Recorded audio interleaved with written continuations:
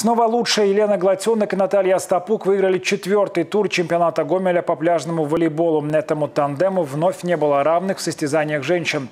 Спортсменки, напомню, побеждали во втором и третьем турах. У мужчин в четвертом туре лучшей стала пара Капустин-Макеев. Пятый тур чемпионата областного центра по пляжному волейболу пройдет в субботу, 8 августа.